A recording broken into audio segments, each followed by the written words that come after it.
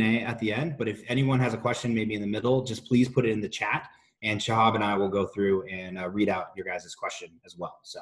And feel free to interrupt me with for those questions. I'm not going to see the chat as easily uh, where I have it set up now. So, yeah. Cool. So um, my name is Laci Cerrone. Uh, happy to be with you guys today, and super excited that I was asked to speak um, on on the first ever digital luncheon for AMA Las Vegas. Pretty exciting.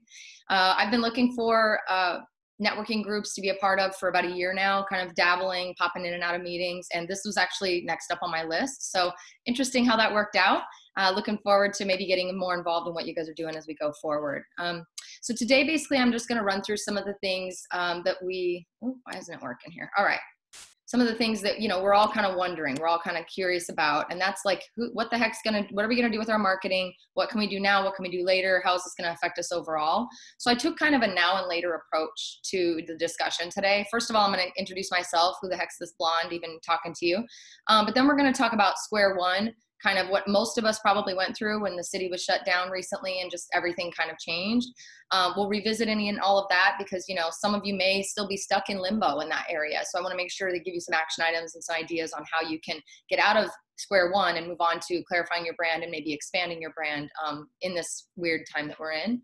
And then I've got some pro tips for you. Um, typically, I teach free classes to small business owners and real estate professionals, pretty much anybody who needs my help. This is my one of my biggest passions in life. So um, if you're a small business owner, this will probably appeal to you. If you're more of a larger corporation kind of marketer, I'm hoping some of this helps you, but I cannot guarantee because I have a tendency to gear most of my content towards individual business owners and things like that. So hopefully I'm still going to be worth your time today.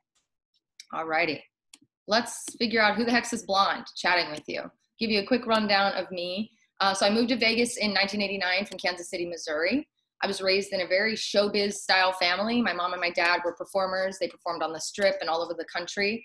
Um, but we lived in Kansas City. So we moved here in 89 because uh, it made it easier for them to get work uh, after I, you know, was raised, we did a lot of theater, a lot of dance, music. That was basically, I basically lived in a green room and backstage and hung out with cocktail servers at the lounges in Las Vegas. That was that was my life. I had a disco ball hanging in my living room. If that tells you anything about the kind of uh, upbringing I had, so very unique. Um, spent the first 15 years of my career in executive marketing roles for companies like Station Casinos, IGT, Cirque du Soleil, Jabbawockeez. Uh, very grateful for my time in the corporate world. I learned a ton, and I'm so excited because I really feel like what I learned and took from as far as structure and marketing goes from that world, um, that I took it offline and took it into my um, into my private ownership of my own business now. Uh, my husband and I founded a podcast uh, and video production company in 2014. Oh, um, we start we actually reached 2 million downloads with our podcast and this was before podcasting was really popular or very well known. So within about a, nine months we hit a million and then a few months later we hit 2 million downloads. And um, you know again there wasn't a serial podcast gimlet media wasn't out there like kind of was mind boggling to me as a marketer from the corporate world why wouldn't people be utilizing podcasts? Um, to get the word out about their brand, you know, and bring value to their clientele. So we created after getting after having success with our podcast, we created a podcast and video production company to try to kind of evangelize podcasting a little bit to some of the um, larger corporations and we were successful in doing so. We, we have in the past and still continue to produce shows for um, companies like tony hawk foundation Miesha Tate who's a ufc fighter. We did uh, one season of a podcast for unlv during the election couple years ago, um, produced it on their behalf and, and collaborated with the teams there. Had a really great time. So have a little bit of podcasting background along with just regular marketing and digital marketing. Marketing. And then I moved out of the corporate world and out of all of that. Um, still, we still own our podcast production company and video production company, but it's more of a creative outlet for my husband and I. We really kind of focus on taking on clients. We're very much white label. We don't market ourselves. It's very much a referral business. I shifted all of my focus over to the real estate world because I wanted to do that for 15 or 20 years and was able to expand from being a single agent in 2017 to now I have 10 people on my team who are selling um, real estate here in Las Vegas. And we're really aiming to evolve this world that we're in and kind of move on and make it better, make it less antiquated because unfortunately the real estate world is a little bit antiquated. Um, so enough about me. Last final slide on me. Here's the things that matter the most to me. My family, Las Vegas, especially vintage Vegas, because I'm a, I'm a huge freak about that. My team, uh, my business essentially, helping people fall in love with living in Las Vegas. And I freaking love small businesses. It is my jam all day, every day. If you're a small business owner, I'm here and I always want to be able to share what's in my head to get you going and get you moving. So feel, feel it's, it's pretty important to kind of talk about who the heck I am because, you know, anybody can get up here and watch a YouTube video five minutes ago that tells me what I'm going to teach you and then turn around and try to teach it to you. I'm just teaching you from what I know and what I've practiced recently with my team as we have experienced everything that you guys are going through as well. Any questions before I move on? Think we're good. Okay, so let's start at square one. Oh, okay. First things first, don't panic. I'm sure a lot of us experienced a moment of OMG, what are we gonna do? My life, my my business, my my income, you know, everything kind of hit us like a like a tsunami. So, you know, most of us have already gotten past the panic stage, I'm hoping, but I thought I'd throw it in there anyway. Um, don't pull the plug.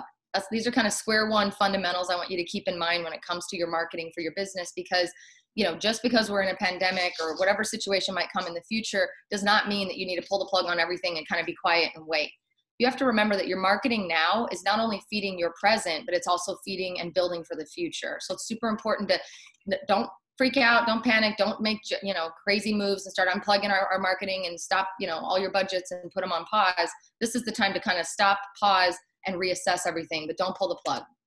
Also, keep in mind ad inventory for especially digital ads for Facebook and things like that actually are becoming cheaper right now because other advertisers are canceling. So you can stretch your budget a little bit further if you just pause and wait a minute and try to reassess and kind of um, you really reconfigure and dig into what your analytics look like. You can really go and stretch that budget really far, especially right now. So that's something to keep in mind this is a thing that I believe in in life in general. I never let fear decide how I move. I don't let fear make any decisions for me. Doesn't mean I don't feel fear. Doesn't mean that I'm not um, fearful. Doesn't mean that I don't, you know, have that as a component of in the process of decision making. But that's never the thing that makes decisions for me.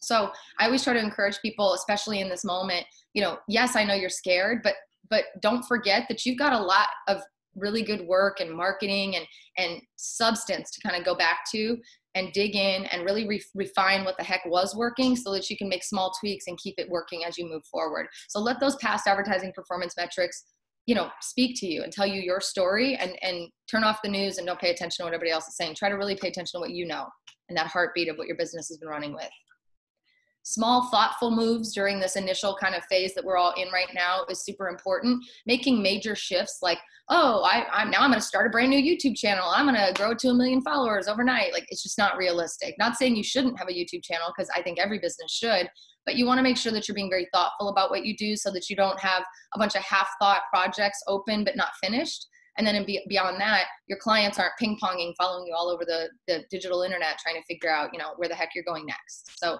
keeping small moves in mind is a really really important process.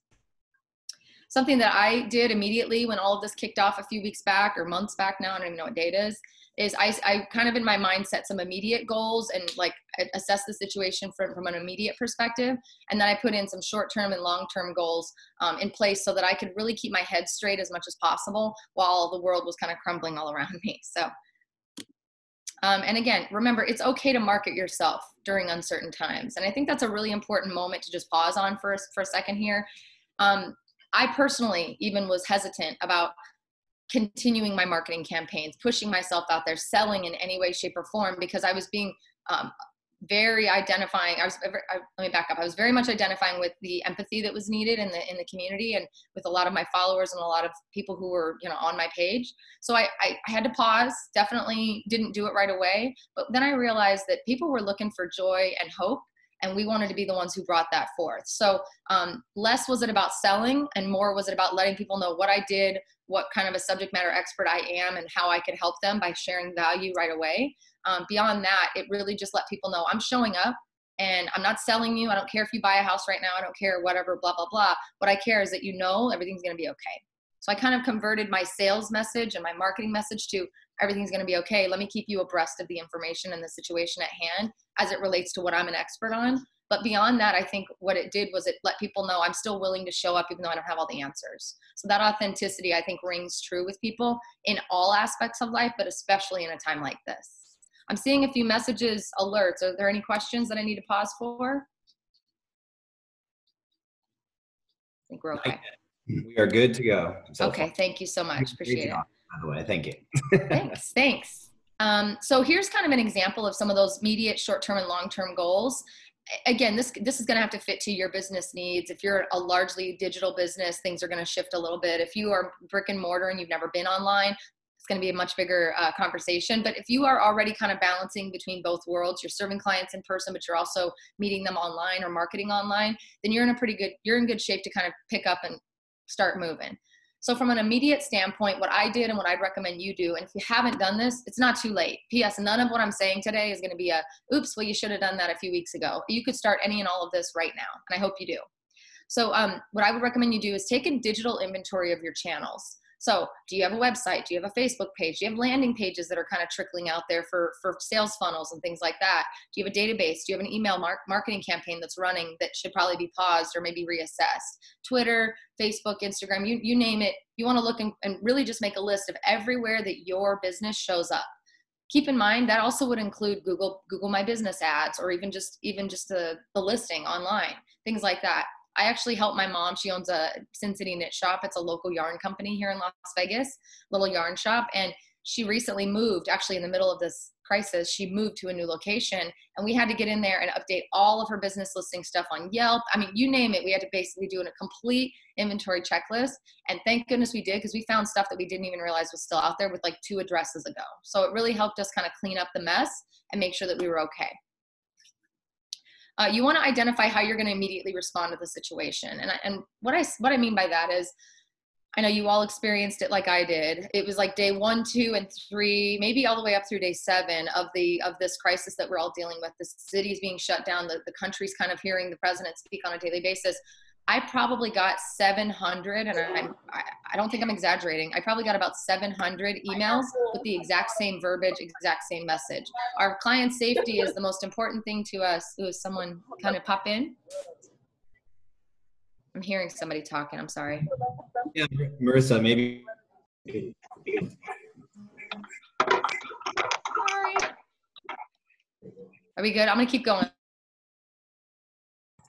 You're good and now I'm not muted. Okay, we're good. So um, yeah, so just really do an inventory and identify what that message is. I was getting increasingly annoyed and almost turned off by every new email that came into my inbox or every new post that I saw that said the same damn thing that everybody else was saying. Our clients' health and safety is the number one of most important to us, and we're doing everything we can. If you don't have anything to say, don't say it, right? And that's I think the biggest message that I can take from all of this. I also saw a lot of companies going online it's one thing to have nothing to say but still be able to provide value. It's another thing to just go online and be online and be present and wait for someone to tell you what to do or fill a void that's really not even there to begin with. So just want to be very cognizant about that immediate response to whatever's going on. So, um, you know, and this isn't just for a pandemic situation. Look at October 1 when that happened, or even 9 11, right? If we, if we had the digital internet that we have now, would have been a different story. But, you know, with all anything that's happened in the past or anything that may happen in the future, you got to be really cognizant and st- figure out how you can stand out and also stand out authentically. I can tell you right now, some PR firm probably wrote the same same you know email for all those companies on their behalf. The president probably took one look at it and signed off and it felt that way when it came through. So i'm just here to encourage you guys to make sure no matter what you do from an immediate or an ongoing messaging standpoint you need to make sure that that's an authentic coming from the heart feels like a human wrote it message because i think a lot of us failed um, from that perspective as, a, as, a, as in the situation that we're in right now. And then you want to clarify that immediate message that's going to be used. So is that message we are pausing on selling anything right now while we figure out what's the next best steps. Is that message we may be a brick and mortar store but guess what? We're taking our business online. Please help support us. Whatever that messaging might be figure it out right away or figure out your interim message and then get get over the hump and start communicating what you really need people to know so that's just like day one, day two, right? That's like, oh God, what are we gonna do? Then after we get past that and we can start to breathe a little bit and still trying to assess, trying to assess everything as it's coming our way, you want to move into a short-term planning um, experience. And I don't like to call these marketing plans, especially in this type of uh, an environment that we're talking about, because we're not really marketing, we're communicating. Frankly, we're always communicating, and I always think of them as communications plans. But most of us being marketers and being here at the AMA, American Marketing Association's meetup, marketing term gets thrown out quite a bit. I want you to change your mindset when it comes to a pandemic or any of these crazy uncertain times that may happen in the future. And always think of it as I need to figure out what my communication plan is going to be for my clients, current, public slash social media, as well as future clients. And the reason I break it down into segments is because what I have a hard time with is when I see a lot of companies and brands use like all for one blanket messaging uh, it doesn't feel like I'm special or important to them. It, and I don't care how big or small that company is, I still want to feel like I'm special and important to them. So I don't care if it's Victoria's Secret or my plumber that lives down the street. I want to feel like they care about me and care about my business. So each level of that brand or or size of organization has to figure out how to how to do that on their level. But it is super important. And since I do gear this mostly to small businesses and small brands or medium-sized companies, even just personal brands, it, it, it's even more so important. And you have the luxury of being a human that can communicate through human conversation. If you have a business that's your brand, Cerrone Group, that's my company's name, Cerrone Group. You know, when we speak, we speak as if we're a human. And if need be, we can say, This is such and such from Cerrone Group, here to tell you XYZ. So you don't always have to speak as if you're a company talking to someone. You can bring it down to a personalized level. And that's super important right now, especially with people who are just looking for answers and looking for comfort and hope. Um, once you have fig- figured out, you know, what your seven day communications plan is, what your messaging might be for each of those segments, then you're going to set an advertising budget for testing and messaging on platforms. If you don't currently spend money on, on running ads on social media, totally cool. I do not encourage you to learn how to do ads right now. Right now, you got to figure out how to keep your business afloat. I do encourage you though, if you have tested or trialed any of that, to try um, tinker around with Facebook ads and Instagram ads and, and even YouTube pre-roll, mid-roll, um, ads for your business. You know, if you have a little bit of your foot in the water, it's going to be much easier to kind of get in and test and and track. But what's awesome is your budget's going to go a little bit further if you do it the right way. So definitely something to keep in mind. Uh, so many people want to pull the plug and pull back and stop spending. I'm just here to tell you, like, you have to spend money to make money most times, and especially in this moment where news and the politics and everything is taking over the, the airwaves, you've got to figure out how to shine. Sometimes that requires you being delivered directly to the people who need to hear from you. Um, and then, of course, as you should be doing as good marketers, you should always be evaluating your marketing ad messaging and spend each week, each month, whatever your metrics timelines are. After we come up with that short-term plan, you know that plan can reinvigorate and re get re-triggered every week, week after week. You can just do a new seven-day communications plan until you don't until you know what's going to happen next. Like so, I would assume like if you had done this from the beginning, you would be on your fifth or sixth iteration of this seven-day plan and you're just waiting for the governor to open up, waiting for us to get some instruction, waiting for whatever's next. Um, if you're past this short term and you're ready to start looking on long term, some of us just need to live right in the middle here, and that's okay. You don't have to move on. You don't have to grow. You don't have to create some course while we're while we're off work. And I'm using that air quotes very heavily can't see me you, you know this isn't a time for better get your hustle on if you're going to do anything with your life. This is a perfect opportunity. Now this is a perfect opportunity to go through the seven stages of grief that we're all going through because our normalcy was ripped away from us without any anybody warning us. And um, to really let your body your mind and your soul kind of align and make sure you just stay focused on what's important which is the current business you have. Uh, if it's been decimated because you can't open your doors and you can't create an online version, then okay, use this time to create something new and start a new path. But if you aren't in that position, please don't lose focus and don't think that you need to be doing all things all the time to everyone for everyone. This is the time for you and your business to get super close, get super clarified, and really stay focused on what the, the business at hand is, which is to make money and to pay your bills. If you're in a position to where you got that seven day things working, that business is still humming, you're feeling good about that, and you want to expand or figure out how you can utilize this downtime, that's when we move over to the long term plan. Um, and I had no idea I was going to spend this much time on this slide, but I'm so glad I am. So um, I'll speed through any others if I'm running over time. Just let me know. Um, from a long term plan perspective, it's really important to create and execute a brand collaboration plan with like-minded complementary business and what i mean by that is you know i do this every day anyway i collaborate with every kind of business you can imagine in town because that's my jam right i love small businesses i love sharing their message i love ex- helping people explore Vegas and fall in love with Vegas. I can't do that with just me creating the content. I have to rely on my community to help serve that message out there to let people know what's what's actually available in this amazing city. So I find that to be an extremely important component and pillar in my brand and my brand marketing strategy. If you don't have that as part of your brand marketing strategy, now is the time to do it. And I'm just telling you, there are hundreds and hundreds and hundreds, if not thousands, of little brands, small, medium, and even larger size businesses in our city and outside of our city that would be more than happy to collaborate with you, do a package bundle deal and sell your products together for Mother's Day or whatever, what have you. So start thinking that way. From a long-term perspective, long-term growth comes when you can collaborate and get utilize other businesses' audiences for your audience's behalf, right? You not only have your audience you've built, but you can then tap into all these other people.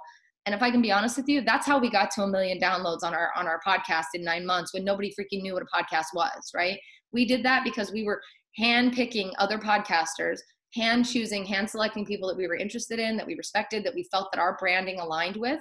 And we said, hey, can we be on your show? We'll have you on our show too. It was a mutually beneficial thing. They got to take advantage and grow from my audience and vice versa.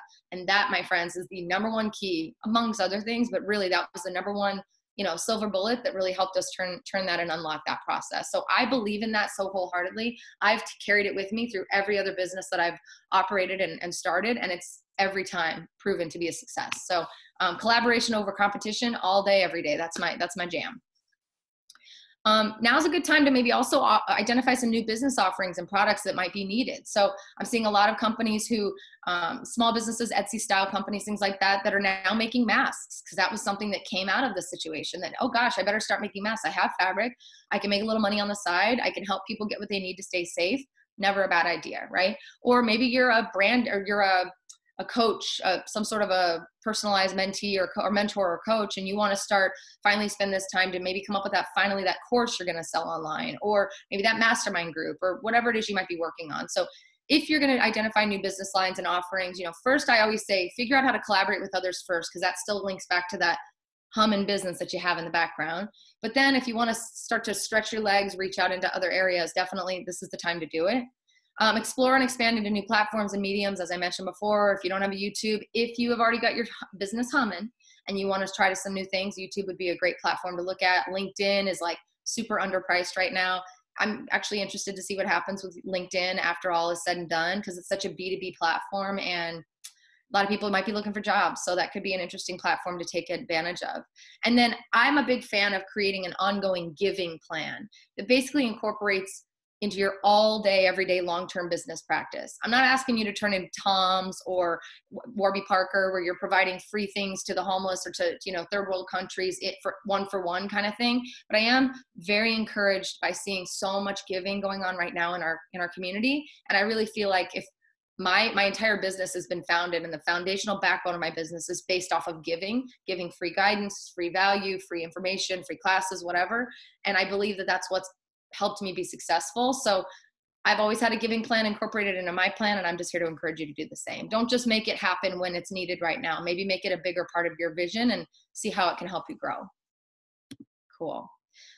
What I'm seeing from a current trend perspective is um, it's been very interesting. Actually, I've been very closely watching kind of how people market themselves, how companies are adjusting and and evolving. And what I've seen largely, this isn't everyone, but largely across the, uh, across the board is most of us showed up loud and proud when we things started hitting the fan and everything was changing. We were here, we were sharing content, we were shouting people out, we were loving each other, we were being empathetic, we were focused on giving. It was beautiful. Then a couple weeks later, that started to like pare down. I didn't hear as much of the supporting each other and loving each other and empathetic stuff. Then it turned into, holy crap, I got to stay afloat. How am I going to run my business? Well, I can't be spending time on on Facebook sharing other people's stuff. I've got to focus on my business, which is not, nothing wrong with that, but you can do both. And then what I'm seeing more and more of, which is making me really sad, is I'm seeing a lot of people go from loud and proud to staying afloat to dimming their light very quickly and not even being anywhere present. Their website's not updated, their Facebook and Instagram, where I'm going to to look for information, completely dormant for a couple of weeks now.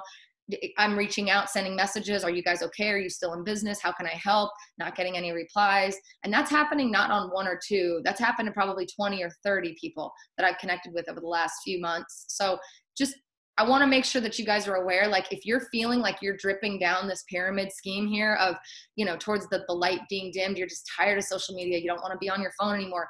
Who needs another Zoom meeting, right? Hey, how you doing? Um, all those things, right? Those are real feelings and emotions. That's all part of this weird seven stages of grief that I know we're going through as a community, as a as a world globally. Um, but I want to encourage you if you can be aware of it, and now that I've made you aware of it, that you probably have gone into this little pyramid, upside down pyramid. see what you can do to reverse it. See what you can do to reactivate. Uh, change it up. Go outside. You know figure it out. Get out from behind this computer and and try to go and share a little bit about what what's going on in your world with your followers. I promise you they care. Okay. So let's talk about messaging. Um, I'm sure there's probably some marketing people on this call who offer these types of services. Let me help run your social media. Let me help do this, that, and the other. Those are all amazing services, and I encourage you to take advantage of them if your budget allows. But now is not the time to hire somebody today to take over your social media. You have to be authentic. You have to personally show up. We need to see your face or your company's face or your employees' faces. We need to know that there's human beings running this. It's not just some robot in the back, you know, doing their thing doesn't mean you can't get help with content. Doesn't need doesn't mean you can't get help with posting physically or physically scheduling or creating or curating the content but there needs to be a human being within your business whether it's you or someone that you can appoint that has the messaging down that knows the back end conversation that's not in some you know va land you know in bangladesh or someone maybe even just down the street who's a local um, person who provides that service. It really needs to have your thumbprint and the heartbeat of your business behind it. That's really important I want you to listen first before you before acting. Now, listening first sometimes for most people can turn into um, for some people I should say can turn into listening for way too long and never doing anything because they're waiting for the perfect moment. There is no perfect moment, but I think you can all probably appreciate the listening first uh, component really comes into play when it when it's really a moment of you going, okay, I'm not really sure what my immediate response to this is going to be, or I don't know how I'm going to handle this new messaging I have to deliver that we're now only offering this, or we're stripping back our services to that, or whatever that messaging might be. So start poking around on the internet, look at some of your competitors, look at what others are doing, and start to take note so that you can figure out how to stand out, but also make sure that you're in alignment with what seems to feel like is acceptable um, when it comes to pulling back and, and all of that. So that people can support you also. So listen first when you listen first, you can find out how people will want to support you as well. Make sure you clarify that message. Self serving content will be remembered negatively. I'm just going to say that twice. Self serving content will absolutely be remembered negatively. And I'm not, I can't see most of your faces because I can only see my screen, but I'm going to ask you all to nod if you personally have seen someone's ad that just seemed a little, not off color, but just ill timed uh, if you've seen stuff getting served to you that just seems like they're trying to take advantage of what's happening, new products are being delivered that you're like, where did they come up with that? And how did that happen so fast? Just, I have genuinely seen so much of the buy from me, I don't care about the rest of you. Oh, I, I'm sorry for your loss, but hey, don't forget I'm a this um, than I have ever before. I've seen so, so much of it. It's, it's actually made me ill. So I'm just here to encourage you guys. If you've done any of that self-serving propaganda, buy from me, buy, buy, buy, buy, buy, um, and I'm going to throw my own industry under the bus. Real estate people are the absolute worst at it. We are the ones who are first to tell you, I've got a new listing, first to tell you to buy this, first to put everything in front of your face and let you know that you need to buy a house from them. And I've been preaching it for three years now, and I'll keep till the day I die, I'll keep telling people nobody cares. Nobody's going to care if all you're doing is selling. They want to know that you're a human. People want to buy homes, people want to buy products, people want to work with and you know give their patronage to human beings who they think and believe care about them if you're constantly pushing your message, how do we know? We don't. You could be the nicest person in the world, but we wouldn't know it because you're constantly focused on you. So I don't know if you're nodding, but I'm nodding. I've definitely seen a lot of it, and um, you know, we need to be the people who don't do that. We need to be the ones who do do it differently. General consensus is absolutely. They've all seen yeah. that. Yeah. So we can't be that. Thank you for chiming in on that because I can't see anybody's faces. This is very strange. I feel like I'm talking to myself. um, give, give, give all content must be helpful in the first stages and even in your ongoing seven day communication plan figure out a way to infuse giving. And i, I want to say this too because a lot of people including myself and my team we've been a little hesitant about sharing our good deeds right? Because we, we're very big we're very um, you know philanthropic. We want to give back to the community. You know we're pooling our money we're buying food for homeless people. We're doing lots of really really beautiful things. And all of my team members were like but if we share it doesn't isn't that kind of self-serving Normally, sure, it can absolutely be uh, construed as that, or I don't even know if that's the right word. It can absolutely absolutely be seen as that. I'm, I'm tongue tied today. However, in a time of crisis, what I've noticed is it's almost needed, and it's that it's almost like that immediate. They're just saying they did that because they want our business. They're just telling us, oh, how dare they? All that immediate negative talk that we immediately go into, like, oh, how dare they? For some reason boils down and goes away. In these moments, it's almost more of an inspirational message. It's almost more of, you know wow look at what they're doing. We need to do something too. What can we do to help match that? It also creates a little bit of friendly rivalry or competition to help all to help us all kind of step up our game. Oh you gave that much? Well we gave this much. What about you? You know? So it, it can be fun. As long as your messaging is in alignment with the real true authentic reasoning behind what behind why you're doing it it'll come through. If you're a butthead who says, well, if they're going to give, then I guess we have to give to give one more dollar than they do, make sure our PR team knows about it so they can write a release, then we need to have a conversation. That's not the way to go. Continue to show up. So this kind of goes back to that upside down pyramid model that I talked about. Everybody showed up on day one, two, three, four, five, six, seven, eight, nine, 10, maybe 12, maybe through 14, right? Day 15 and on, a little dicey, a little thinned out, a little quieter. Some evolution happens with the messaging. It's no longer, what are we going to do? It's here's what we're doing. Cool. But I'll tell you what, man, the amount of people that have ended up in that bottom barrel, not showing up, not, it, it's heartbreaking. So don't be that. And even if you're just not showing up because you're busy or you're tired of it, figure out a way to cut through it, challenge yourself, find an accountability partner, get another collaborative business who wants to do some collabs with you to hold you accountable too. And we can go back and forth and figure out the right methodology, the right timing, the right content pacing. But you got to have somebody look at you going, Where you been? I haven't seen you on Facebook in a while. Why haven't you posted on Instagram? People need you and they need to hear from you, especially in this time. Show your face. Okay. This is my absolute favorite thing. I include this in every presentation I do, whether or not it has anything to do with marketing, because I firmly believe that people need to bite down on this, chew it up, swallow it, and never let it out of their body again do video, video, video, video, video. If I could say video for the rest of this, I would and just eliminate the rest of my slides. If you're not doing video for your for your business, you are completely missing the boat and the mark and I would encourage you to just hang up right now. Not really. But seriously, video is king. We all know it, but most of us don't want to admit it. And I know that's tough, right? I get it. We were raised in a society of judgmental people and sweep it under the carpet and don't tell anybody about your problems and make sure your face is perfect and make sure your makeup is good like right all makeup background and again my wonderful industry that is so antiquated god love it people have to have the perfect hair if one hair is out of place am i on a green screen do i look perfect all of that is such bullshit and i'm sorry if that offends you but it is such bullshit people don't want perfection they want you to be real uh, and I get into that a little bit more later. But video, video, video, that is your face, my friends. Fall in love with it. Show it, own it. Because even when they see you off of video, that's the same face they see. So fall in love with that beautiful face of yours. Lean into it. We need to see it. And make sure you're customizing your messages for each audience. This is not one size fits all messaging. It is, like I said before, those broad stroke emails that say, we all feel that the safety and blah, blah, blah of our clients. I believe you. I'm sure the safety of your clientele is absolutely number one. I don't care. That doesn't help me. That doesn't serve me. All it's doing is a regurgitated message on repeat and it's a broken record. So make sure that you're, if you're sending email blasts, that you're customizing them with the person's first name. Make sure that it's written in a tone and a manner that actually has an empathetic vibe to it. Do not have PR people write it. Have someone who's close to the heart of the business help it be written. Have a PR team review it if you have a PR team on staff. But you got to clarify your messages. You have to make sure you're speaking Facebook on Facebook, Instagram on Instagram, YouTube on YouTube, and that you're talking um, specifically to the types of people that you know you have through those um, platforms.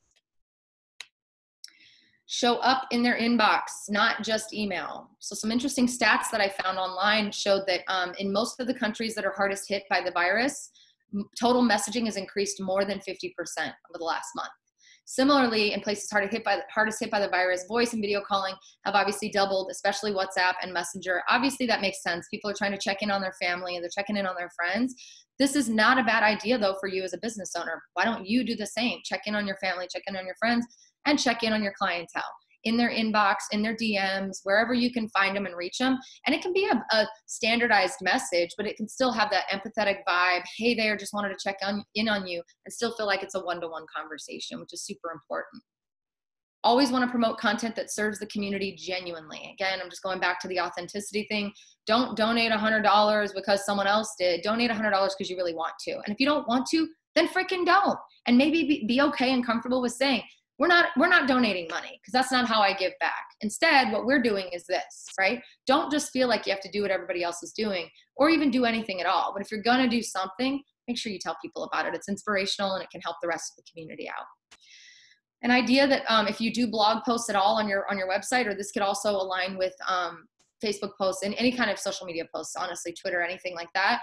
Create a blog post that ties into trending keywords and um, that would provide help and guidance. So, for instance, like I don't know, uh, stay-at-home order was one of the more recent number one um, terms off of SEO a couple weeks back. So you could write a blog post or a post titled something something how to handle the stay in five tips for handling the stay in order stay i don't even can't even talk stay home order in las vegas right and then just provide ideas provide ideas for at home family time virtual classes related to your business you know start giving some stuff away for free. It's okay to give away for free to then get possible clientele as well. So that's where those free ebooks come into play. That's where um, just jumping online and being available for people for a free coffee hour each day things like that those things go a long way and people will take advantage of it in the right way. And then you want to again cross share collaboration over competition. I live eat and breathe that vibe uh, along with the small business vibe. Like those are two things that I just run through my head all day. Collaboration over competition. It's not easy being a realtor and and then teaching another realtor who sits across the table from you exactly how I grew my business. But I'm passionate enough and deeply in love with the idea of seeing my industry as a whole elevate and grow and become less antiquated that i don't care if it, it's detrimental in the interim as long as i feel like i'm impacting my industry for the long run. I want you guys to take that same approach with your business. Yes i realize cross sharing and cross collaborating with businesses muddies the water a little bit and sometimes the messaging and you know it gets a little crazy but you got to be willing to try it and you should be willing and always open to collaborating with other businesses even if they're not your direct competition because again you get to take advantage of their audience as well and then make sure you share those outreach and give back efforts to inspire and encourage others like we talked about. We did determine uh, that being a message of hope was super important. We were doing um, live every other day live uh, meetings or pardon me live youtube streams uh, live facebook live instagram just trying to be live and present. And when we weren't going live we were cutting videos and putting them up to just really continuously create an opportunity for people to feel an ounce of hope whether I had the answers or not, do it. Do you think I honestly knew what was going to happen with the with the housing market when everything kind of came to a, a screeching halt? No, but I was refusing, and I still refuse to admit that it might be going downward. Do am I aware of stats? Absolutely. Am I aware of what's coming? Sure. Doesn't mean I have to be the one that regurgitates that information being the message of hope is going to go a long way and is going to be more sustainable for your brand than always being the person that just jumps up and down with what every news outlet is telling us is going to happen. So be really careful with what kind of messaging you're sharing. But if you're going to go the hope route, I promise you it'll benefit you in the long run. And then again, don't be don't be afraid to ask for help. And this this is inclusive of behind the scenes help with how do I even do an SEO blog post, or um, how do I do a Facebook ad? I've never done it, or what do I do to start a channel, or whatever, right? Or it could be even front of house help with, with by asking your clients, please help us, please help support us. You know what you could do to help us? Many of you have reached out. You could buy a gift card during this time, and that would really help us keep our doors open. Or we're doing curbside only. Like my mom's a yarn shop, she's not an essential business, she's not serving food, but she has a large subset of clientele who are dying for new yarn because they're sitting at home knitting and they don't have anything else to do. So she had to figure out a plan. So she decided to do VIP private sales. So she's not outwardly telling the world, hey, come buy from me, because that's obviously not what's supposed to be happening. So she's speaking directly to her one on one clients and saying, listen, I can do curbside. I'll send you emails of what I'm running from a special perspective. We can process this over the phone, make it super rudimentary, super basic, because she doesn't have an online business yet working on her. She's a little slower to the punch there. But with all that being said, like it really afforded her to not only keep money coming in throughout these last few weeks, but continue that strong bond with her clientele. And she just wasn't afraid to ask for help. They reached out and said, How can we help you? She said, You can buy yarn. And they said, How do we do that? And then we came up with a way to do it. So never be afraid to ask for help. Before I move on, are there any questions? We do not have any at this time. Cool. Thanks. Again, Marissa. please share them in the chat box if you guys have some. Yep. Cool. Did you want to pop in, Jeremy? Sorry, did I hear you? Nope, she got it. okay, thanks, guys. All right, so brand clarity. So when you're looking at your brand, I'm going to pull this whole thing up because I want to make sure we're all talking about the same thing here. We've if you have a business there's likely a moment in time that you went through a brand exercise or a branding exercise where you identified your why. You identified like what exactly am i selling? What's my business even going to be? Who am i trying to go after? And how am i going to do it right? This is the basics to starting any kind of a business really anything who what where when why right? So why is is more important now than ever and your why needs to almost be your entire messaging boat right? You can have a lot of stuff sitting on the boat all your deals all your all your courses all your this all your that all your programming whatever services you provide can sit on the boat but they better be floating on a big fat boat of your why. And that why needs to be so strong that you can immediately pick it up that when you look at your content and you can immediately you know digest it and know what this person or this business or this brand stands for within 2.3 seconds right? So you want to revisit that because anytime you're starting a business you're looking at this you're creating a brand from scratch you're going to be in a position to where you know everything's floating doing great you've probably done the good work but we're in a totally different landscape right now. So it's never never a bad idea to go back to the beginning go back to your roots revisit all that information. Why did i do this? Why am i still doing this? What does success mean for me because success needs to is probably going to need to look a little differently for you different for you now as versus six months ago, right? Because six months ago we didn't have, didn't have a pandemic, we weren't shut down, we had free flowing money coming in and out, business opportunities galore. So you're going to need to redefine what sex what what success looks like. I told you guys I'm I need to take a drink. I'm totally tongue tied. Sorry about that. So you need to define what does success look like. You need to make sure you are clear on how you're going to achieve it, and that might be seven days at a time. That might be baked into that communications plan. Seven days at a time this is how i'm going to achieve it this week. This is how i'm going to be successful this week. And so you can tweak and, and tolerate and move it from week to week to week. Um, what aspect of your brand do you absolutely love? And here's something that i think a lot of us kind of forget. If you started a bakery because you absolutely love baking but now you freaking hate it because it's your life and you didn't realize this was going to become like this in your life versus i love baking and i'm having a great time maybe revisiting what really got you into this in the first place is a good thing to do right now because when I say authentic sharing and authentic posts and authenticity in your content, those are the moments, those are the things that people want to hear from you. They want to know why. Why are you doing what you do? Why do you still, why are you fighting so hard to stay alive? Why are you fighting to keep your business's doors open? Yeah, of course you need to pay your bills, but there's got to be more to it. And people need to hear and know that. So for me and for my team, we went back to the basics of what got me into this business my genuine passion and obsession with our city of Las Vegas is the entire reason I do everything I do. It's the it's the first thing I think about when I wake up. The last thing I think about when I go to bed. I love our city and I believe wholeheartedly that people can build an amazingly beautiful life here they just need to know how to do it. They need to have the keys to unlock the city because it's not the easiest city to just break right into, right? So those are the things that we talked about. We revisited. We, we went back to the basics and said, how can we get people to realize this is all we care about? We don't care if you buy a house from us. We'd like you to, but we don't care. We care about you calling us for the advice before you buy a house from anybody else. We care about calling us for advice before you move to a city that you don't know and fall into a trap that maybe you could have avoided if you talked to somebody who was local, right? So once we went back to the why and the what, we really were able to identify all of that and clarify it. And then that changed how our messaging and reinvigorated our messaging as we went out to our clientele and reminded them, we're not here to sell you anything. If you want to buy something, we'll happily do that. But that is not our goal or our mission today. Our mission is to just bring value.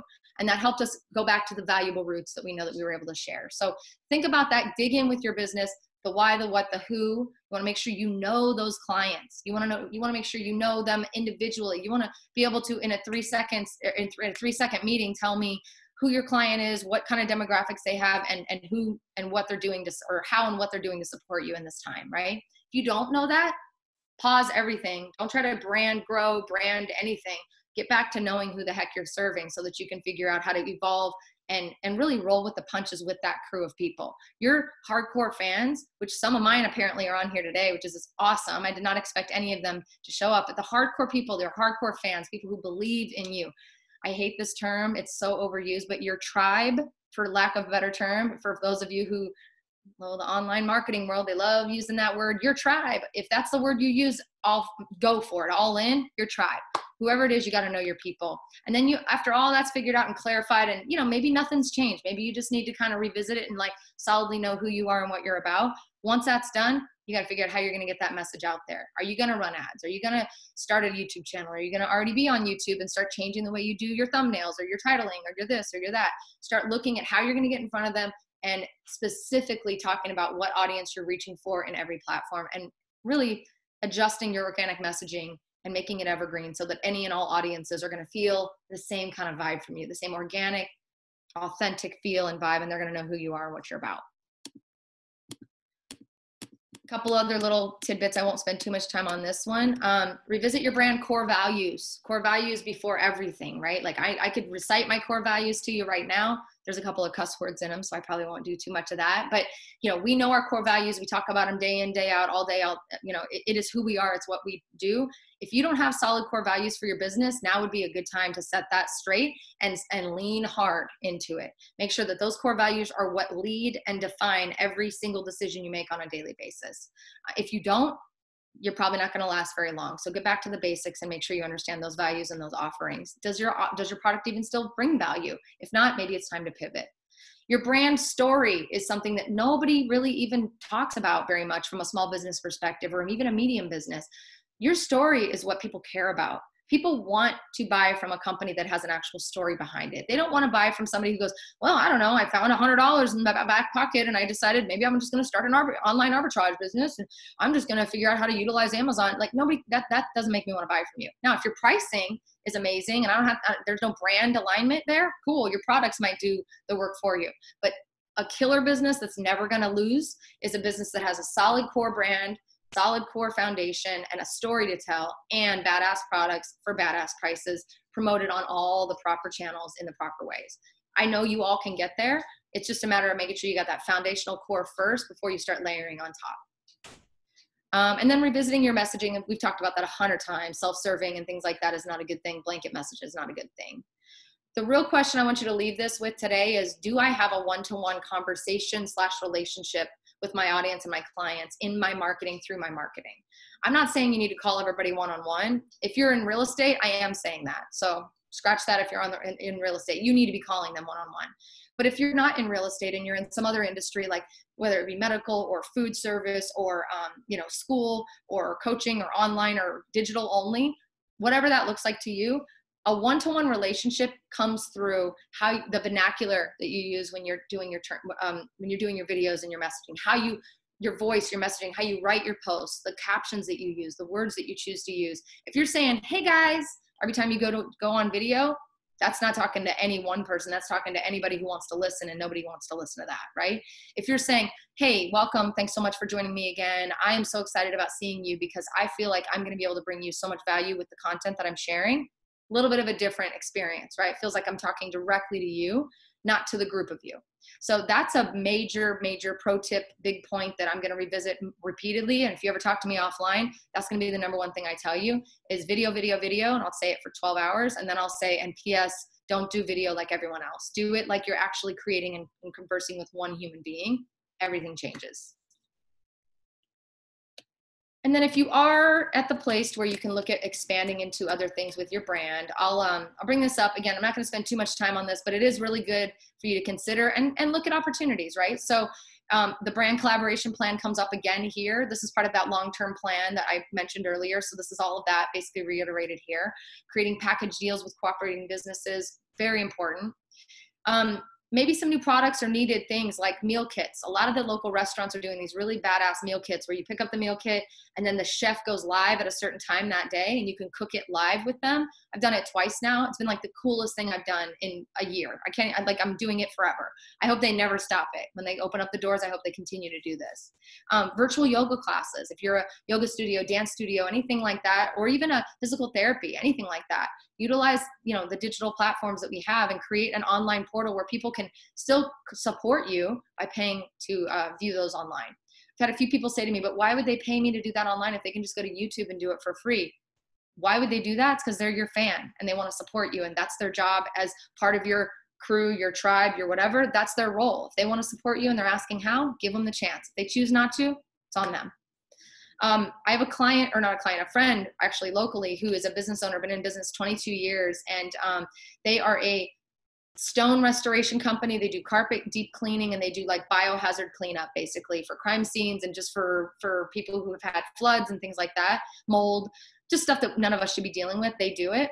They shifted their business during this time frame and they are now offering free disinfecting house or pardon me car is free car disinfection for first responders people who have been affected by covid or have had it and then also um, uh, I think it's first responders, medical workers, and then people who have had COVID 19. They're in, they have the medical grade cleaning solutions, all this really rad stuff. And they thought, how can we give back how can we get our name out there but let people know we want to give? And then also at the same time that's the same stuff they use to clean houses that's the same stuff they use to clean up after biohazard so now not only are they going to get business from doing this they're also getting this by putting their name out there. But it's but it, it might be something they can charge for in the future is my point. So you know these are things that you guys should consider adding or expanding into and then seeing if they work well enough to keep them alive after the fact.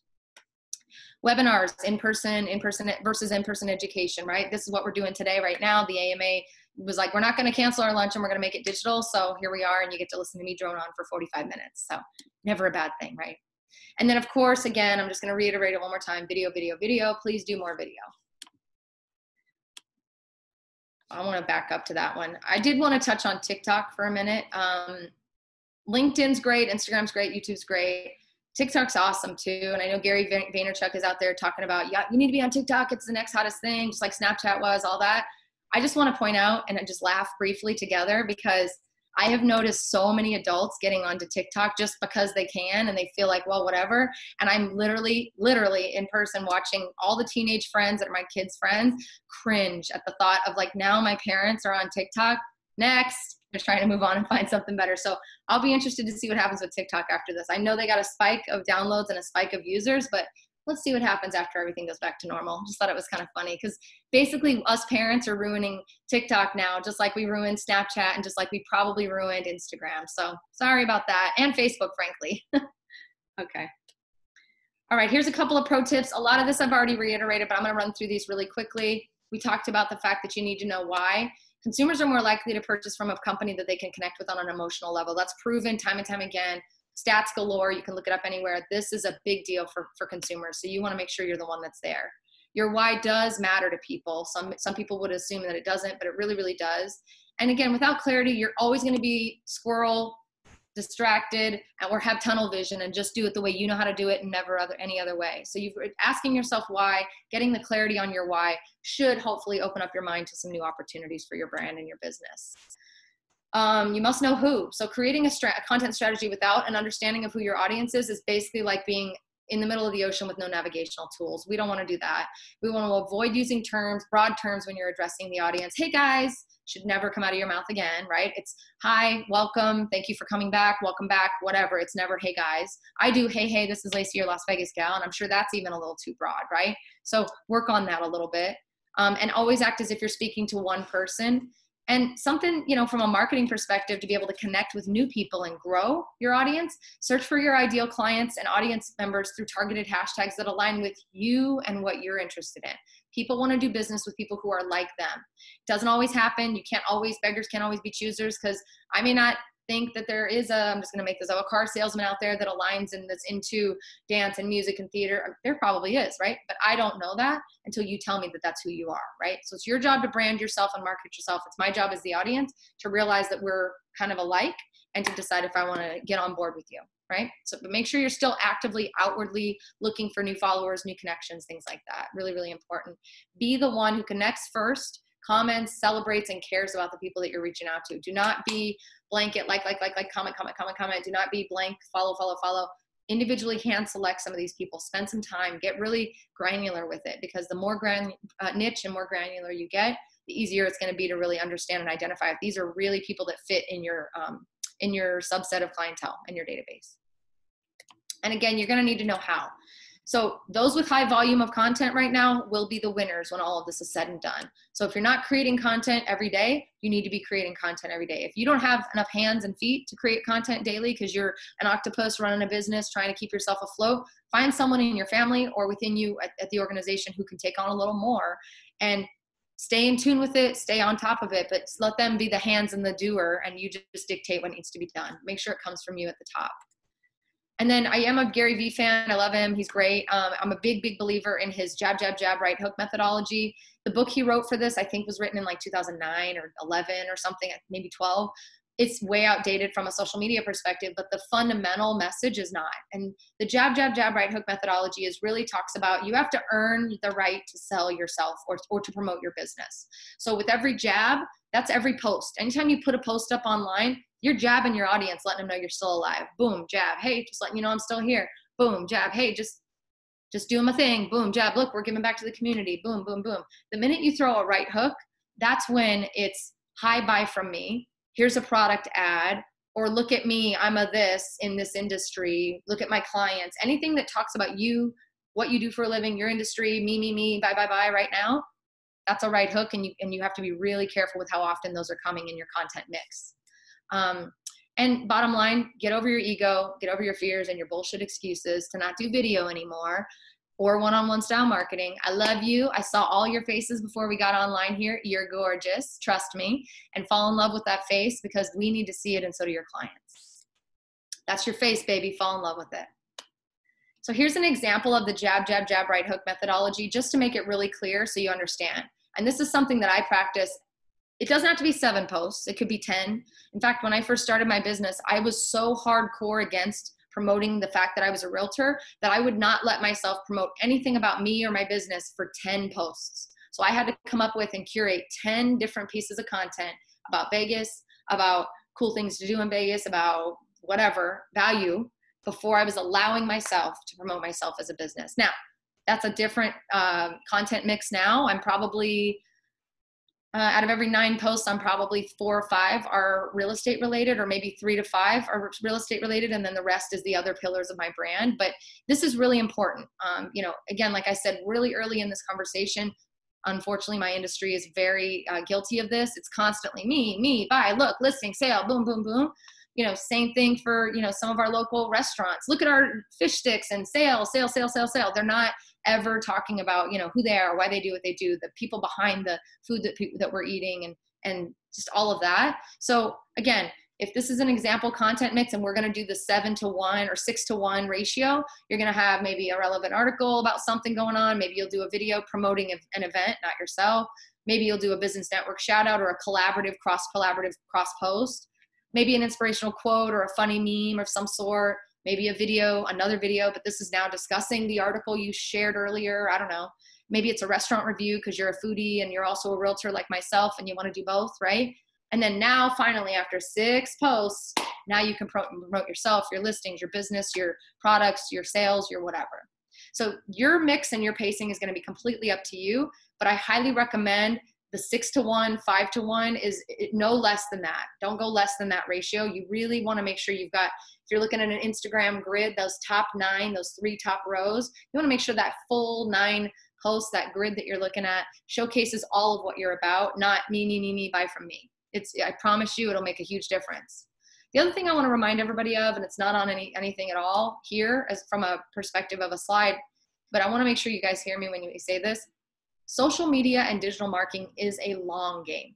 This is not post and get something tomorrow. It, when you run ads and you pay for ads, yes, you can have a little bit more of a of an immediate reaction to some of your sales and your goods and your offerings. But if you're going to do branding the right way and build an actual brand that has a backbone that people recognize, that people can see coming from a mile away, that has sustainability, that's going to take you through to whatever the next pandemic is or the next crappy thing we have to go through as a country is, you got to do it the right way and you have to think of it as a long game.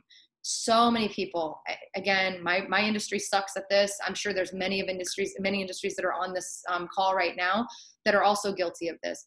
You, you cannot rely on a immediate repeat oh i posted now i got a lead. Cool i'm good. And if you do you're dead in the water and don't even bother going down this path. If you can just open your mind a little bit and realize every for every post you do you're building something for the future. Every post every organic post every share every collaboration every connection every dm every like every comment all of that combines to create this solid backbone of your brand that's really going to be needed if we're going to survive something like this in the future. Any questions? I'm taking a drink. That was that was amazing. Thank you. Did so I go too fast? I do that sometimes. I, I, mean, there's a few questions. Um, one question is, you know, and and I was actually just going to answer because someone reached out. Um, but you know, maybe maybe someone on here only uses LinkedIn, and maybe and I was in, just going to answer like, hey, maybe that's because whatever industry that person's in, like LinkedIn's gold, right? And it doesn't mm-hmm. have other media mixes and media and, and other platforms. Um, but you know, maybe LinkedIn's the right one for him Yep. Yeah, you do want to make sure, and I think something I should bring up as well if, before we answer any other questions is, you know, I, when I teach marketing classes or I teach branding classes, you know, my first thing that I say to people is, you don't need to be everywhere. Now, if you're a business that's five, six, seven, ten years in the, into things, I'm going to change that statement. But for you, if you're within the first three to five years of your business, I'm just here to tell you, you don't have to be everywhere. You don't have to be Facebook, LinkedIn, Twitter, because good Lord, who can keep up with all that, right? You're still figuring out your business. Once you get past that five year mark, three to five year mark, again, it depends on the business, depends on the industry. Then, then it's okay to start dabbling, doing some more things. But my main my main advice for anybody who's pretty new to digital, pretty new to social, is choose one platform. And I'm going to steal my adorable husband's saying and get gangster good at it just be a gangster at Instagram, be a gangster at LinkedIn, whatever it is. Once you feel like that is like a habit, if you go to bed at night and then wake up at 3 a.m. and realize, oh my God, I forgot to post, then you know it's a habit, right? Because it's in your brain, it's waking you up in the middle of the night. Like this needs to be a thing that's becoming super important to your planning and your communications. But one platform at a time, my friends. Doesn't mean you can't post on Instagram and also feed it over to Facebook. That's cool. But when you're creating and curating content, I want you to make sure that you're curating it with one platform in mind so that the people who are on that main platform where most of your stuff goes feel it. They don't feel like they're getting a share from another. They don't feel, you know what I mean? There's not like that weird gloss over effect they feel like you're actually speaking to them. So choose one. And I even did that with my brand. Even a, a marketer, I've been marketing for 20 something years. I started with Instagram and I would push it to Facebook, didn't put, put much into Facebook. Instagram was my jam for a year. After a year, exactly one year, I was able to add YouTube. And then I, you know, and then adding on from there. So that's that's my last thing and I'm sticking to it. Uh, we did have one question. Can you elaborate on LinkedIn? It seems like a great yellow pages slash resume ad platform, but I never had the idea that people really hang out there. That's very, very true. So, um, so LinkedIn has evolved in a big, big way over the last probably three years. I'd say two and a half, three years. They've really started to um, change the design the how you interact with the platform and also how they present themselves. They are really trying to become like facebook 2.0 kind of or facebook 9.0 i don't even know what facebook's at right now but they're really trying to kind of be far they want to be where people do hang out and they're not quite there yet. They're getting there though. So what they did was they um, collaborated with a lot of major influencers in the world. You've got your richard bransons your gary v's you know all these major influencers to start realizing and cre- creating curating and realizing like and telling their audience oh this is a place that i'm hanging and so you might want to be here too. It's a great place to go if you're a subject matter expert about something. And if your audience or your, your products can be sold B2B as well as B2C, but it, don't let it stop you from being there if you're just a B2C because there's consumers on LinkedIn as well. Just make sure that your messaging um, comes into play and, and speaks more on your expertise and less salesy, I guess. They want that people go to LinkedIn for guidance, for information, for insight, and to be kind of inspired on what they should do next. And it is a great place to meet people if you're looking for a gig as well. I hope that helps. I, I use LinkedIn because I just post like, hey, are you looking for, you know, Im- or billboards around the Raiders Stadium? Are you looking for? Yep. But I use it as more like throwing strategy against the wall, essentially. Yep. Um, I am a little too salesy. so no, but but that's the thing though is like you, but you're a subject matter expert. You're, you're clearly coming at it from a I'm thinking of your problems perspective. You're not just I sell billboards, right? You're coming at it hey, if you're looking for specific marketing in this area, I'm here for you. That's not, I wouldn't say that's too salesy. It's definitely salesy, but that's more of a strategic kind of, I'm talking to you, buddy, the one who just read this article. Um, I do. Speaking of the Raiders, there's some breaking news I think everyone should hear. Uh oh. The Raiders' first home game at Allegiant Stadium will be against the New Orleans Saints Monday night, September 21st, baby. Woo! I got season tickets. I'm stoked. two is it's week two of the NFL, but it's the Monday night football game. That is going to be huge. Awesome. That'll be my first official ever football game. Oh wow! There you go. Yeah. Lisa Silverman said, "But can we attend?" I don't know, Lisa. You should have. I'll your- put you in my backpack, Lisa. Um, well, I, I Garth Brooks in August. I'm hoping they let us sit in the stadium. That's all I'm saying. Oof. Um, I, do we have any other questions out there? I think we. There can. was one from Sarah's iPhone. It says, "I'm a real estate student in California. Would it be okay to network with you after I get my license? My online marketing ideas and my general values line up with what you're teaching. Love your Instagram. Looking for more realtors to network with." Thank you. That's awesome. Absolutely. Just send me a DM, um, and then I can. I'll type my email address in here. Um, is this going to you privately? Let's see. How do I do this to everybody? Oh, here we go. I'll put my email address in the um, chat box here. So if anybody wants to reach out to me for advice or just to say hi and be friends, I would absolutely love that. I love meeting new people, especially small business owners, medium business, just anybody in this world. It's like my jam. So thanks, guys. And for anyone who did uh, jump in late, fear not. Uh, Marissa is recording this. We will have this up on YouTube and we'll send it out to everybody. Great. What other questions can I answer? Anything else coming in? Mr. Peter Rad is harping on LinkedIn. Is it most important? Ah, There, there are like other sites to post frequently. Basically, he's like, Yep. you know, which sites uh, should you, I guess, provide more content or more uh, elbow grease, if you will? That's a that's a great question, actually. Thank you. Um, so I again kind of go back to the choose your platform, the one that you're going to spend most of your energy and time on. If you're someone who's diversified a little bit and you're you're in Instagram land and you're also on YouTube and you might also have a little bit of LinkedIn action, I would say um, take whatever the messaging might be and try to customize it per but try to push everything out on everything. Like so if i'm putting some something up on youtube that's going to work for instagram. If i put it into my igtv or if i give a swipe up to to go look so i can share it there. And that's also going to work over on um, on linkedin as well. So i think you need to assess it on a case by case basis with your messaging and what you're trying to get out there. If this is more of a i love the world. I'm, I'm sharing my love. I want to make sure you see what i'm doing to support the community that should go everywhere. If it's more of a hey check out my new sale. It's $9.99 now instead of $14.99 might not be a linkedin might be just meant for more of a targeted audience that's going to be more apt to click and buy.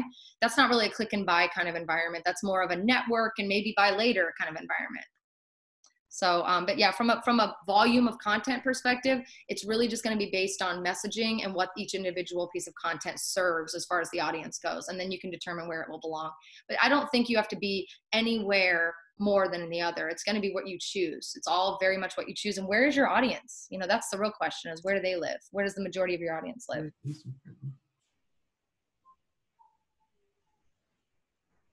All right. Any any last questions out there?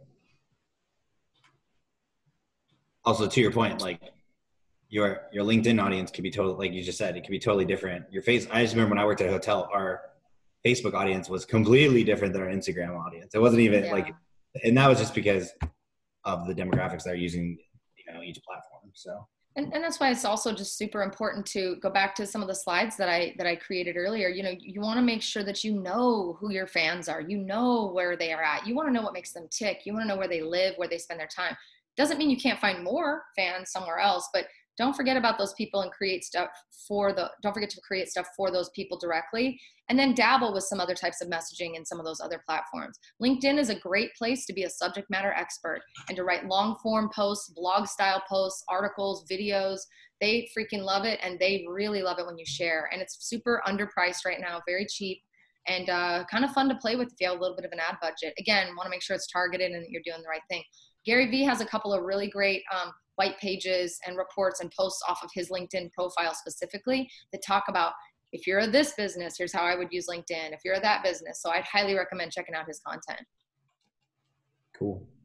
Um, awesome. Well, I again, thank you so much, Laci. I think we'll probably keep the chat up or the meeting going just for a little bit. So if you have a moment to for everyone to drop their um, LinkedIn URL, just so we can all connect uh, very quickly. Um, and yeah, I think that was it. Thank you so much. Seriously, Laci. I mean, that was more that was more content than I was prepared for myself. I'm like, oh, I need to pay way more attention because Oh, sorry. Thanks. no, that's a compliment. I was like, this is amazing. You know, it's like, wow. Thanks. You I'll be honest, when I teach classes, they're usually three hours long and I don't let anybody take a pee break. So I have a tendency to jam a little bit too much into my classes. all right, that's mean. That's, Yeah, I had to take a pee break. Yeah, I don't, I don't let, I typically am like, if you leave, you're going to miss out. I'm not repeating it. Just letting you know. no, but seriously, that was. I mean, I wish we could have had you at Fleming's and we can all have a steak in our belly and and Yeah. blown, mind blown again. Um, but that Thank was you. that was amazing. So I really appreciate it. Um, My and- pleasure. And uh, but yeah, I think I guess we'll officially end our meeting. But if you want to keep up the uh, the group chat so we can all connect, uh, that would be uh, more than appreciated to, to everyone. So thank you all for for joining us on our hopefully our first and hopefully our last uh, virtual AMA, but I think we did pretty good putting this together. So, um, but I really appreciate it, everyone. So I hope you guys And have. hey, you, you've got a lot of people from not Las Vegas who are asking for more of the digital. So I'm just saying. Perfect.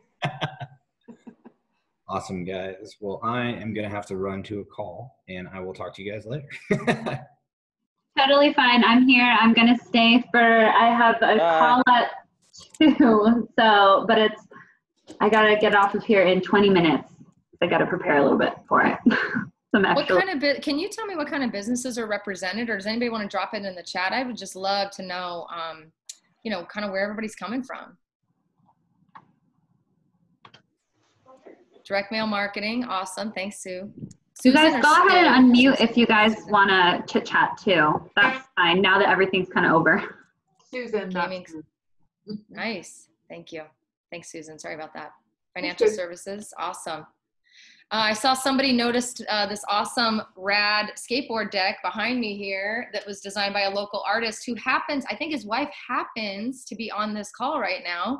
Uh, Juliet and Derek Douglas are actually the co-owners of a brand new coffee com- uh, company coming downtown uh, in a couple of months. Actually, we're really, really proud of them and excited. So stay tuned for that.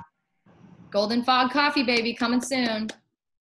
So we've got marquee exhibits. Hey guys, oh my gosh, lots of different. I love this. Lots of different, um, different industries. Oh, that's cool. Represented. This is cool. I know I got some realtors on here. I'm gonna call you out in a minute if you don't put it in the chat box.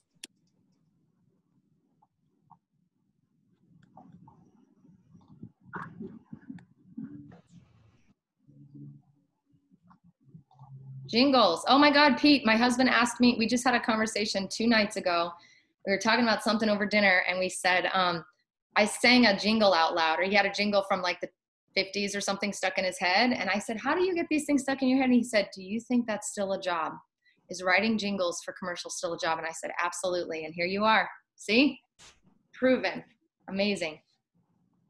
Filmmaker. This is so cool, you guys. Solopreneur. Hey, Megan, good to see you. Megan's an awesome yoga teacher and she's a Whole30 coach if you guys are looking for somebody to do that um, or to help you with that. She's really awesome.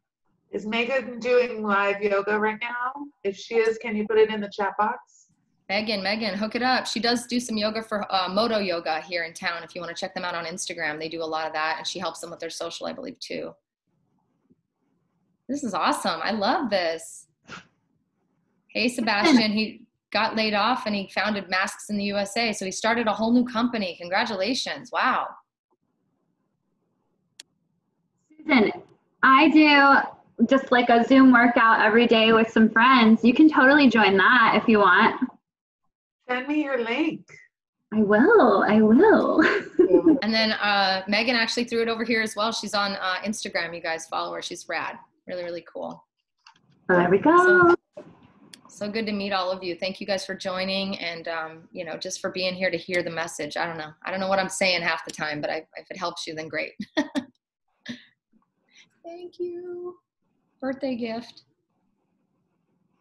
Your passion really comes through, Laci. Oh, thank you. Who's saying that? Who's saying that? Who am I, who am I missing? Susan. Hi, I. Susan. There you are. Your passion really comes through. Thank you very much. I, I you know what? I think the best thing that came from me leaving the corporate world, which I love the corporate world, I did very well. I had a great time, met lots of wonderful people. But I think the best thing that came from it was that um, I was able to finally really discover what that passion was, or really just open my eyes to it and go all in. No red tape. It's been pretty awesome. Yay. Thanks.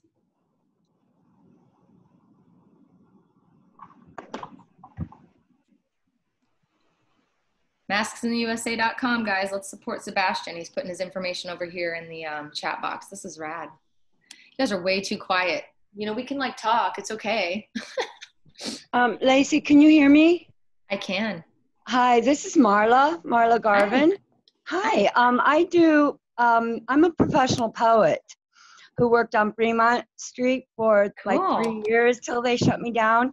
I've got fans from all over the world reaching out to me on Instagram, Mhm. just um, supporting me and telling me how how much my poems mean to them. And um, what I'm wanting to do for Mother's Day, um, and I don't know how to even approach this, is do personalized poems for people's um, mothers where they give me three words and I Mhm. take those three words and just empathically write a personalized um, poem for their mothers, but I don't know how to even start That's a really approach this. Really sweet, very uh, thoughtful idea. I love that. And um, honestly, I mean, are you on social media? Is that how you promote your business I'm on currently? Instagram. Yeah, that's how I got to know you. You follow me on Oh, Instagram. oh, okay. That's why. That's why your photo looked familiar. I was sitting there going Yeah. like, okay, that's awesome. Okay, well, good, Marla. I'm, Well, I'm I- Lady Bryn. I'm the I'm the I have a pit Yep. bull. I have a brain injury, so I have a, a beautiful uh, seven-year-old pit bull, Lady Bryn, that is constantly with me. Wow. So That's you know amazing. me. Yeah. Thank you so much for following and also for tuning in today. And great Oh, question. absolutely. I would highly recommend um, going live on you on uh, Instagram and, and announcing what you're doing and having people because they can pay you through Venmo or whatever you're going to charge. If you're not charging for it, you're just doing it. Obviously, put that out there, but recommend doing that. I would also recommend sending a direct message or doing a direct message campaign to a lot of your followers, directly going into their inbox saying, "Hi, you know, I follow you, you follow me, whatever that messaging might be. Here's something I'd like to offer you for Mother's Day." Okay. Awesome. Thank you. I've got to Yeah. run, but this has been really great. Thank you, guys. Thank you. Hey, Marla, share with me whatever you're doing, and I'll make sure that I push it out to my audience. Okay. I will. Thank you, Laci. Thank you, Thank you. Marissa. Bye, bye now. Bye. Thank you. Claire's online still. Hey, Claire, good to see you. Red Rose Studio. She's also an artist, does beautiful work. She just moved out of Vegas, so I'm glad you joined us today, Claire. And she also works with a small business mentorship platform. That's rad. Very cool. Okay, guys, you got four more minutes. Whatever you want to address in the chat box, get it in there. Someone's asking, when's the next event? Do you guys know? Our next event, um, we so it really is kind of up in the air with everything going on. We may or may not host our next luncheon in um, what month is it? June. Geez, um, virtually. We may not. So we will keep you updated though. We will add all of you guys who registered for this to our database. That way you can start receiving AMA um, information. And if that's not what you want, go ahead and just um, unsubscribe at the bottom um, once you get that initial one. But we will add you guys. That way you can kind of stay updated to see what we are doing here locally with our AMA, our American Marketing Association chapter. Cool. I think some people are saying I think AMA should do more of these virtually, not just in person. So have a little more on your plate starting in June. yes, no, I agree. I actually think this is really cool. So I think we might incorporate it.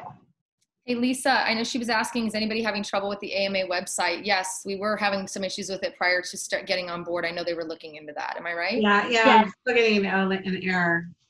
Yeah, the website's down right now. They um they actually jumped off to go try and get that all figured out. Should be up hopefully within the next 24 hours. Um, but they are actually figuring that out right now. They're on a call with it. yeah. now. Okay, great. Thank you. Yeah. It's nice I to know. meet everybody. I'm new to Vegas. Well, I'm not new to Vegas. I've been living here for five years. I've just been telecommuting back to my agency in Laguna Beach, California. And I'm looking to get involved locally now. So Cool. So we would love, love help, definitely. We are a small but mighty board for sure. Um, I used to be on the Ad Federation board in Orange County, formerly known as the Ad Club. You know. oh, yes, I'm actually, I sit on that board here too locally. Oh, do you? Okay. Mhm. I produced like tons of Addy Award shows, and I was the treasurer. And, and Oh, I got be Ad Club here, and it's like almost non-existent. I was really sad. But um, Yeah, so- it's it, we that ad or that um ad club is we are struggling. so that one is I don't know. We just don't have as good of volunteers as AMA does.